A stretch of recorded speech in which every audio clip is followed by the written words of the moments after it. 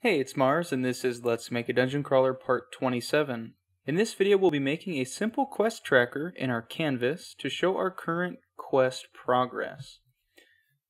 So first, I'll go to DiaQuest window, and I've renamed Kill Zombies to Assist the Blacksmith, and then I've added text as well. The key is what we update when we actually kill them, and the text is what we'll show in our quest tracker. So those are our three values we'll be using. The quest name, the text, and then our current value and our target value. So let's move over to our RPG UI scene. I'll enable 2D and press F on the canvas. Now we want to make the quest tracker holder, so to speak. This is what's going to hold the prefabs and what I mean by that is when we accept a quest, we'll instantiate a image and text components into the quest tracker to show that specific quest condition. So I will want to make an empty game object, but if I make an empty game object, it's going to have a transform, not a rect transform. So I will make a image and remove the image component. Now we have an empty GUI game object and I will set that to be anchored to the top right of the screen. I'll click on the crosshairs, Alt, Shift, left click, top right, and I want the width to be about 350 in this case, and let's move it down about 100 pixels, so that's a position Y of negative 100. The height also doesn't matter because the this is just what's going to hold the prefabs. So I'll set the height to 10 for example. I'll also rename this to quest tracker. I want to give this game object a layout vertical layout group so that everything inside stacks on top of each other. I'm also going to set the child alignment to upper right um, just so that hopefully that helps. I had some troubles in the past. Hopefully that keeps the stuff inside at or below this area. I'll turn off child force expand and let's make our next game object. This is what's going to be instantiated inside. I'll make an image and I'll give it a black color that's semi-transparent.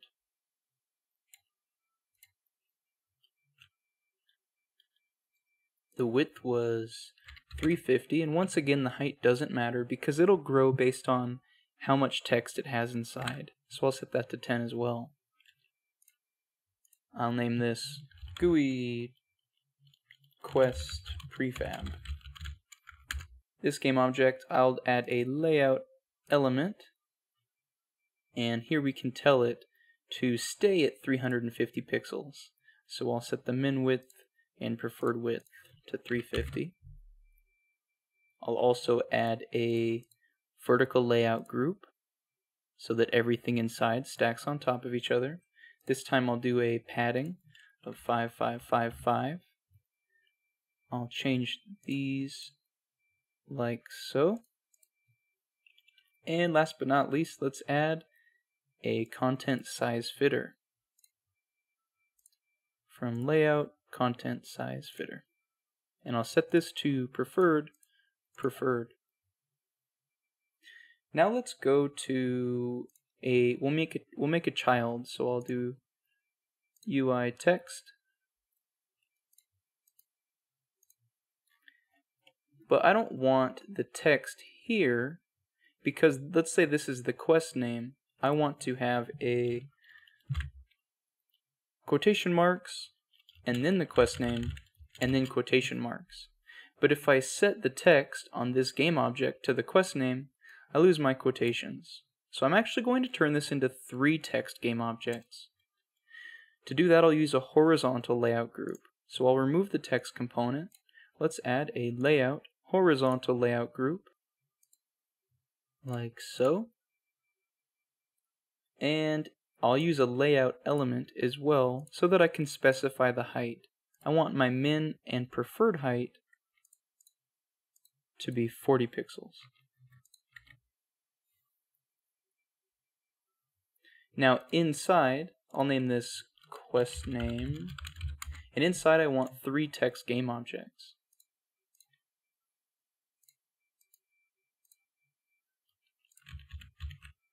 Like so. The first text game object will be quotation marks. The second text, let's call this, since this, um, I'll name this text. This one will be the quest name. And the last one will be more quotation marks. I'll name this game object with brackets so that we know to rename it while working in Plyblox. The text is looking pretty blurry, so I'm going to change the font and then I'll use a size of 39 or so.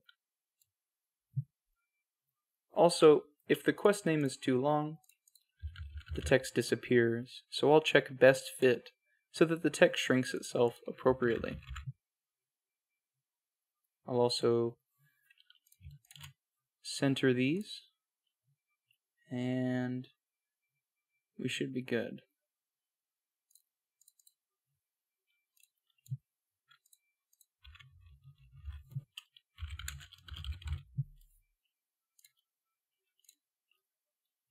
And just as a test, I'll copy and paste this to make sure that our parent, which has the black background, grows with us, which it does.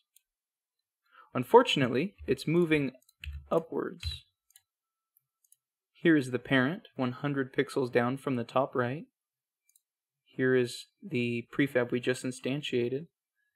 But if another quest, eh, another text game object gets put in, the prefab moves higher than its parent. So I'll grab the prefab, grab its anchors, and I will Alt-Shift click on the top right, or the, the top middle. So now hopefully it stacks appropriately. Now under the quest name I'd like an underline or a divider. So I'm just going to make a UI image and this will just be a white square but I want it to be a max height of 2 pixels, so I'll add a layout element with a min height of 2 and a preferred height of 2.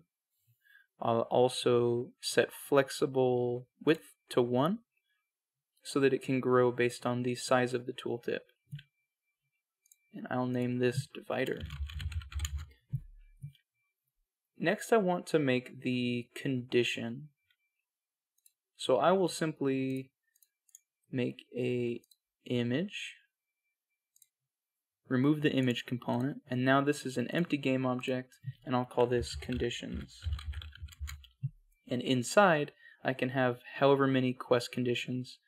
Uh, I will copy quest name and put that in the conditions. Let's rename this to condition 0, the first condition of the quest. Now the parent, the empty game object, doesn't have a vertical layout group, which is why my UI broke right here. So I will add a vertical layout group with these settings. And now my condition stacks appropriately. But inside, I don't want quotations, quest name quotations. Let's do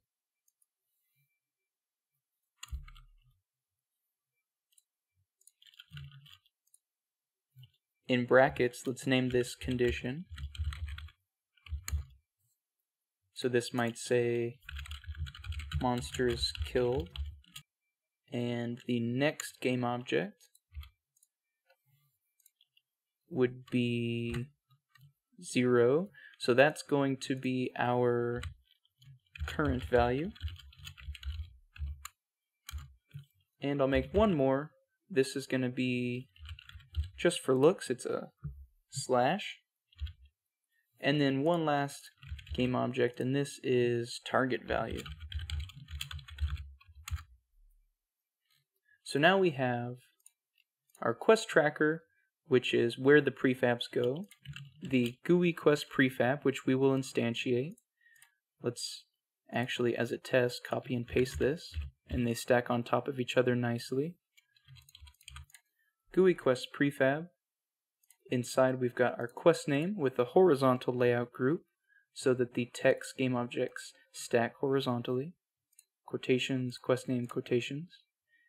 Two pixel high divider image and our conditions with condition 0 and we're going to pull the value condition, pull the value current value, and pull the value target value, all from the quest itself. Now we're ready to set up the plyBlox.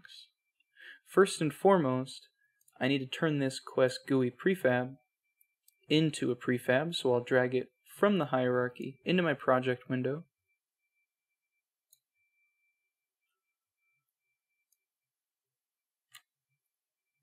And I'll turn that prefab off. Now we need a way to instantiate this prefab into the quest tracker game object. So on my player,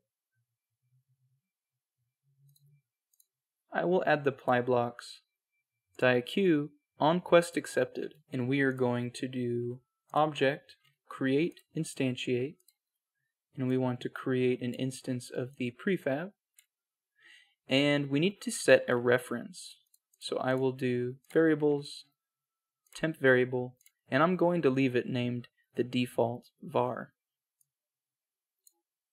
Now we want to set the parent object set parent and we're doing this because when we instantiate it it's going to get dumped into the hierarchy but we want it to be a child of the quest tracker so we're setting the parent of get temp game object to, and we could make a reference so that we don't have to find by name, but that'll work for now. Find by name, quest tracker. Now right after it gets created, it's going to be placed as a child. Very important that you uncheck world position stay, otherwise our scale will be messed up on the prefab. So instead of a 1 by 1 by 1, it's going to be something crazy like 2.7 by 2.7 by 2.7. So we definitely need to make sure we uncheck world position stay on the set parent block. Last but not least, we want to set a reference to our current quest.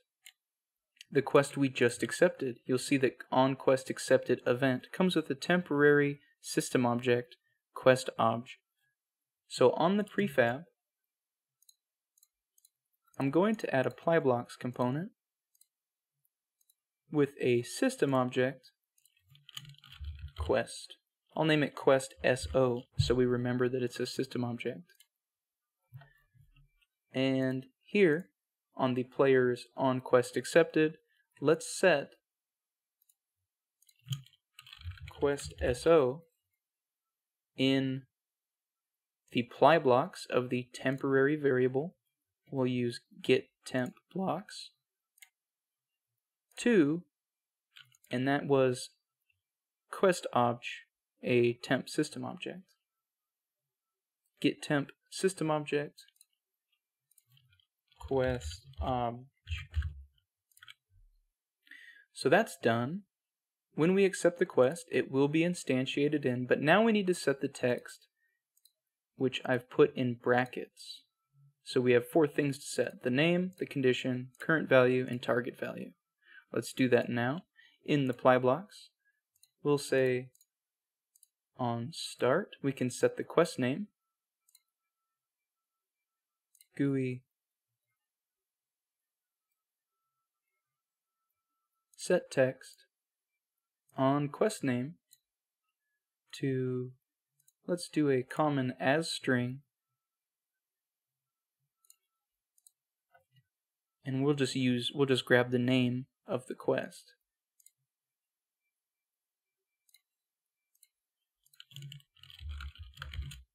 Let's also set condition 0 and the target value. So I'll copy this block and this time we're setting the condition and that will be using the get property block. As string, get property, and we want the text. If we look over in DiaQuest, we want the text of condition 0. Get text from DiaQ, get quest condition, condition 0 in which quest? That is this one, quest SO. So that's our condition. And we can also here set the target value. And instead of grabbing text, let's grab target value lowercase t capital V. That's using the get property block. We can't, we well, we could set the current value on start, but after we kill a zombie, it will no longer accurately represent our current value. So we'll put that in an on update, and I'll copy that block, and let's set current value to, using the get property block, it's called performed times with a lowercase p capital T. So now we're setting the name, condition, target value, and perform times, or current value. Last but not least, we don't want this prefab to stay here forever. So let's do, I'll do a separate on update just because. And we're going to say flow if a equals b, and we're checking if the diaq get quest status, you'll see it returns an integer. We're going to see if the integer is 3, if the quest has already been rewarded, we'll delete ourselves. So that's integer of 3. We'll do an object destroy and that's diaq status of quest and we'll use as string quest so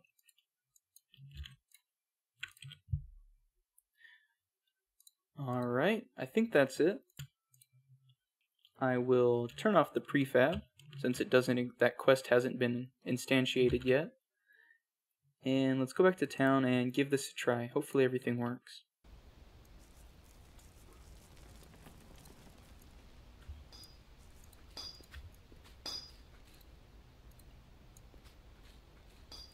Alright, we have the quest.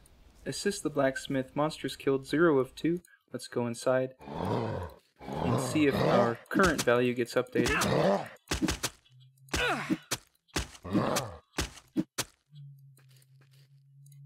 And lastly, let's turn in this quest to see if this prefab gets deleted.